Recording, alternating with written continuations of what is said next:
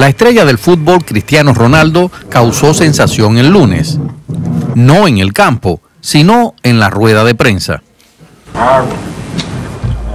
Ronaldo es un conocido defensor de la vida saludable y esta simple eliminación de dos botellas de Coca-Cola de su vista coincidió con una caída de 1,6% en el valor de las acciones de Coca-Cola. Puede no parecer mucho, pero eliminó 4 mil millones de dólares del valor de la compañía.